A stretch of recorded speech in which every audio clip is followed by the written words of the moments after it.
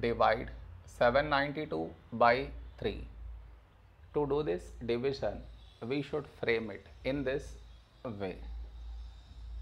792 here, 3 here. This is your step 1. Next. Here we have 7, here 3. A number close to 7 in 3 table is 3 twos 6. Now we should subtract, we get 1.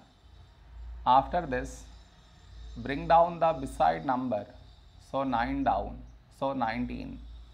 A number close to 19 in 3 table is 3 6 18. Now we subtract, we get 1. After this, bring down the beside number, so 2 down, so 12. When do we get 12? In 3 table, 3 fourths 12.